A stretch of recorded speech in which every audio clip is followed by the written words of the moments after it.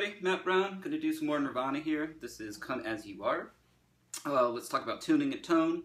Tuning is down to full step. With tone, we've got a chorus pedal going.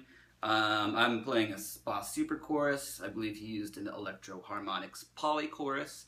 Um, anyway, but here are the settings. The effects levels at about uh, 10 o'clock, EQ 12, rate 1, and the depth is almost turned all the way up. It's not all the way up, but it's, it's close.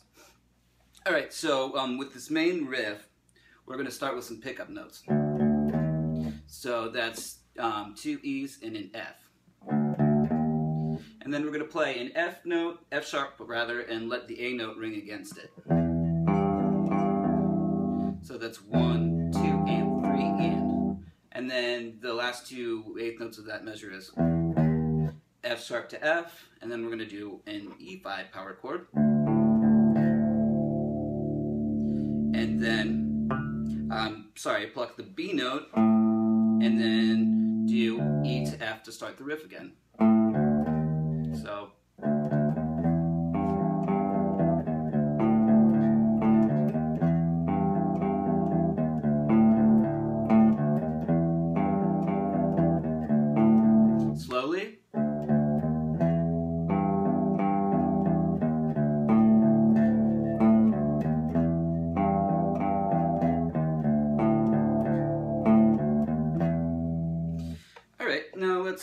Uh, talk about what happens as we go into the chorus. The last measure is um, instead of doing the back to that, we just do um, we're gonna do one and two and and four and like that on an E chord. So.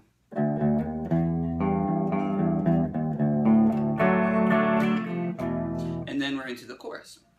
So the chorus chords are F sharp sus 4.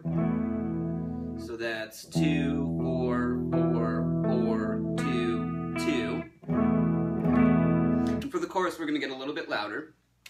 Um, and then we have an A chord. And that's just our rock A, four middle strings. So we get this.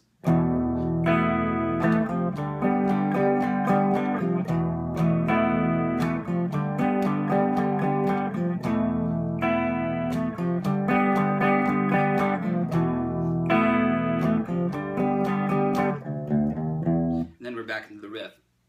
So um, we get this dotted quarter note thing on the low strings of the F sharp sus 4. Then we get the high notes, and then like a little thing to transition. Um, and then with the A chord, he's alternating the low strings to the high strings, like that type of deal.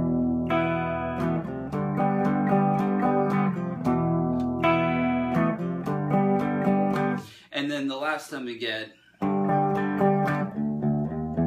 and we're into the riff. So make sure you cut off that A chord so it's not ringing into that those pickup notes um, as we go back into the verse.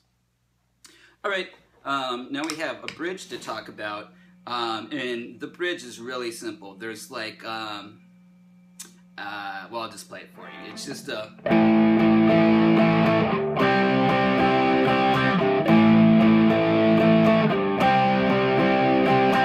type of type of deal. So the rhythm's one, two ands, and four and.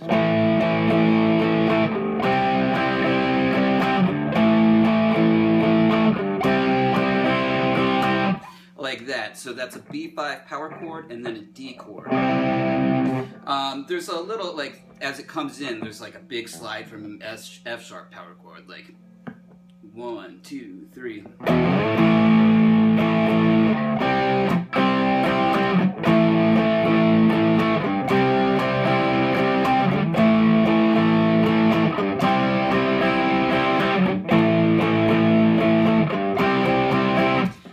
Last time he's going to do one and two and then back into the riff.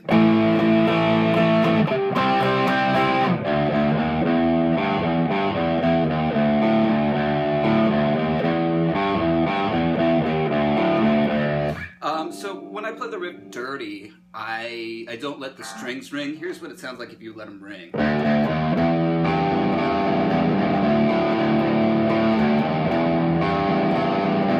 It's not bad, but it is pretty messy, so.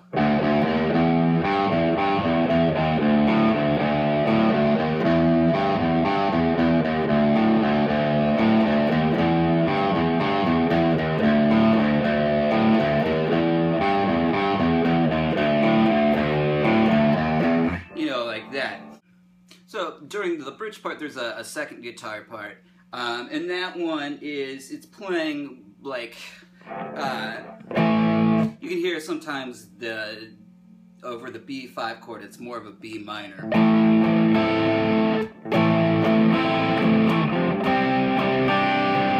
And then the other chord is a D sus2. So that's 5, 7, 7, uh, then 5, 5.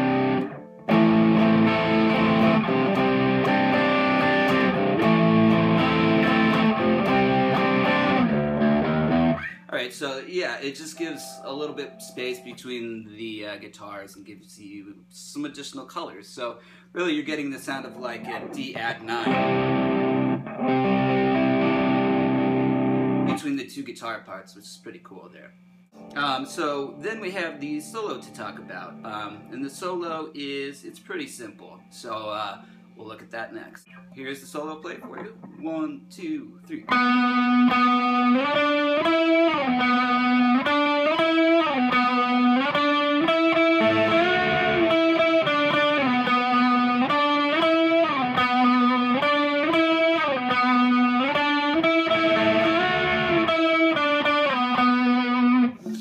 It's pretty easy. We've got basically a C sharp, uh, an E, and then the F sharp. So and you can just play this one with one finger. Um, and the C sharp's played with vibrato. And then you're going to slide back from the F sharp to the C sharp.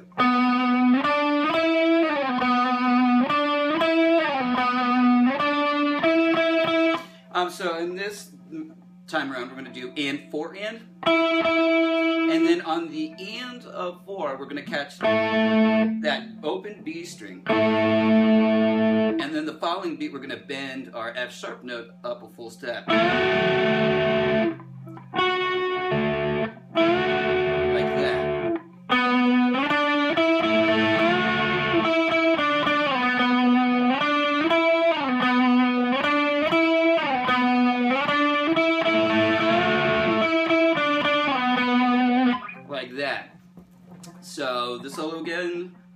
One, two, three.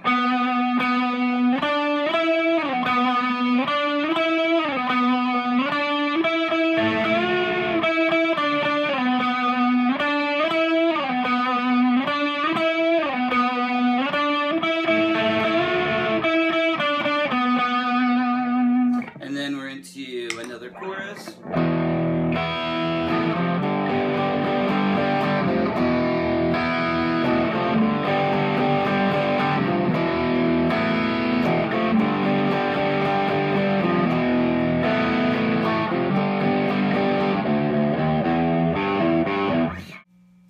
Everybody, that'll do it for Come As You Are. I'm Matt Brown. Email for questions or um, if you want some private lessons or if you'd like the tabs to this one. All right, I'll see you guys around.